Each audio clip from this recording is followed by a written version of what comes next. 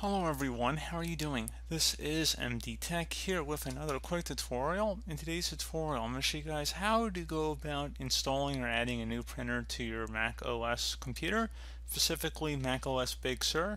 This should hopefully be a pretty straightforward tutorial guys, and without further ado, let's go ahead and jump right into it.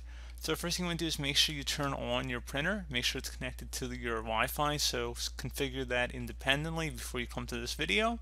Plug it into your Mac if it's using a cable connection, so just go ahead and plug that in if that is necessary.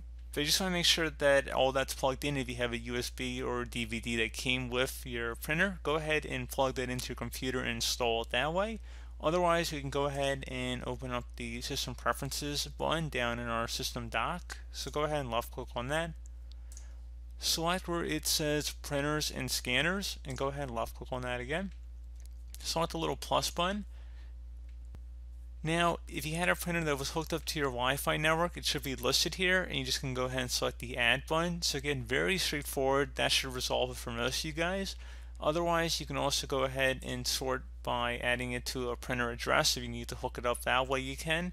And you also can select the final option here over on the right side. And if you want to go through Windows, you can. But pretty straightforward process there, guys. Do hope that I was able to help you out, and I do look forward to catching you all in the next tutorial. Goodbye.